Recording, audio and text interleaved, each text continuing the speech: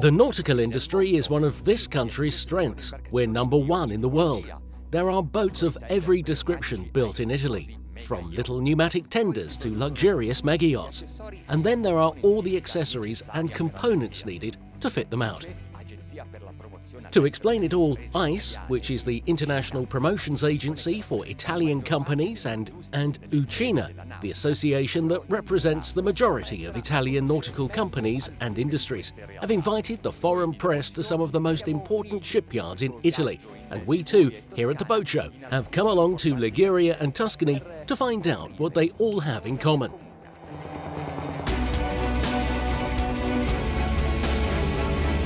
Abbiamo avuto una serie di azioni importanti di follow-up della 57esima edizione del Salone Nautico nell'ambito del piano Made in Italy. to strengthen the positioning of the main Italian trade fairs internationally, of which the Boat Show Salon is one of the flagships, and as part of the Made in Italy plan. We have had a series of important follow ups after the 57th edition of the Boat Show, starting with international promotional events at the main boat shows in Dusseldorf, Dubai, and Fort Lauderdale. From there, we launched an international campaign activity in the main specialised sector magazines, followed by an incoming promotion inviting foreign journalists to visit two of the main Italian nautical production districts, that is, Liguria and Tuscany. Quando noi avviciniamo gli operatori internazionali intesi sia come buyer, intesi come comunicatori, quindi esperti della stampa, eh, sviluppiamo eh, intorno al, al concetto del salone, quindi dell'evento. We only have a limited time frame to get close to the international operators, whether that be the buyers or the communicators, that is, the experts from the press. So we develop our campaigns around the salon. Planning, of course, to bring buyers with us, because then it effortlessly becomes international, as we basically identify those who are and those who could be the valid influencers who may go on to talk to investors in the nautical sector.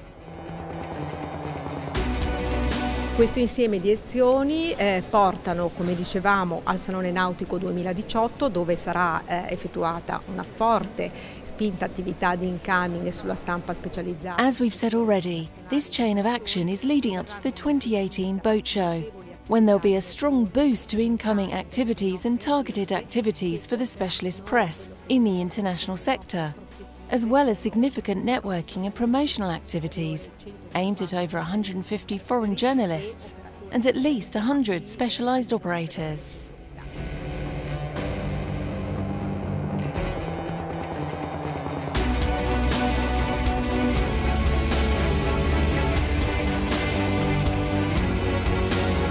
Amer Yachts is an historic boatyard in San Remo, a company with a family feel that builds big yachts.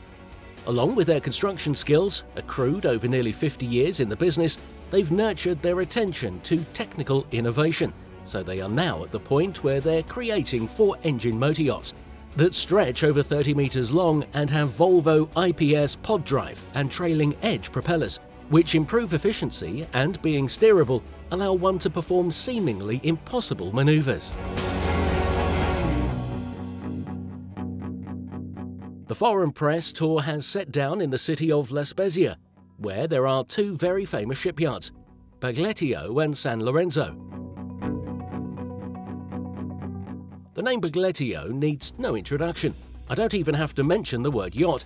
Everyone knows what I'm talking about a modern shipyard, even though it was launched in 1841. It has won records for the first big Italian motor yacht and the first hydrofoil in the world, to then give us MAS, the Italian naval military boat in the First World War.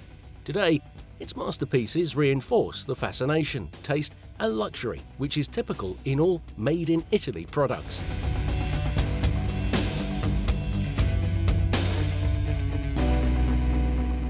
San Lorenzo only builds big yachts, fiberglass models with planing hulls which range from 78 to 118 feet, and semi-planing hulls that range from 92 to 126 feet.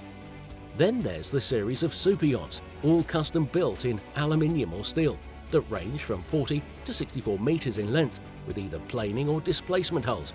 And then there's a crossover, an 88 footer which stylistically reminds you of the Explorers. these boats made to navigate through any sea. San Lorenzo is celebrating 60 years of business this year.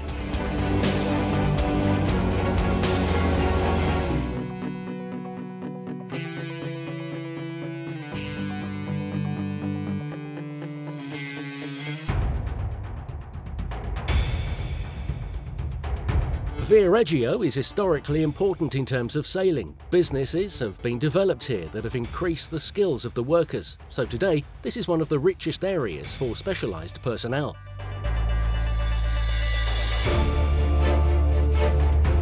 Benetti è uno dei più antichi costruttori di Benetti, which began trading in 1873, is one of the oldest big yacht builders. It has been part of the Azimut Group since 1985, and as of today, this particular brand has built 350 big boats. In fact, it has three that are over 100 metres long in production right now. This is the Viareggio production site. There is another one in Livorno. The range is subdivided into various series, the names needing no explanation. Classic, Fast, Oasis, Mega and Giga.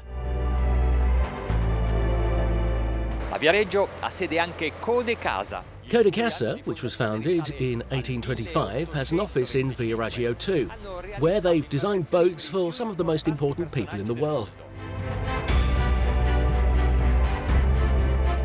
Management is still family led by the founders' descendants, who have built yachts that reach up to 90 metres in length. Beginning with steel and light alloys, they have, in the past few years, added to the series with boats ranging from 35 to 50 metres that are totally made from light alloy, so they are fast. The Codecasa boats are built to owner's specifications, so each one is different from the next.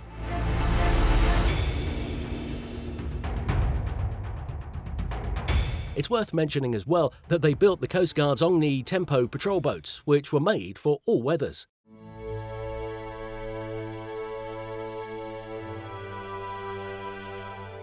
Siamo a Pisa, in uno dei dieci. We're in Pisa, one of Overmarine's 10 production sites.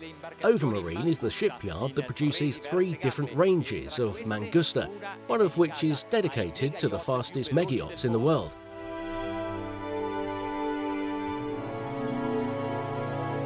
The range of Opa models goes from 72 to 215 feet, though the name suggests their most recent series, the Oceano, is made up of metal displacements which can go very long distances.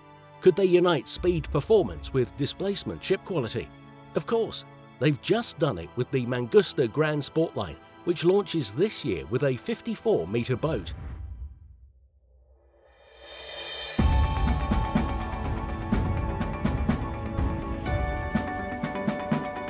Abbiamo visto alcuni cantieri nautici italiani. So, you've seen some of the Italian shipyards, but did you notice what they all have in common?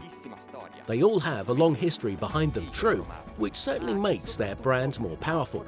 But even more so, they have created a formidable nautical culture. Today, more than ever before, these companies, with their knowledge, security, and their skilled workers, can build these fantastic boats so naturally. Something that only those who know exactly what they are doing and how they are doing it can do. Which is exactly why the most important boat owners from all around the world turn to these companies.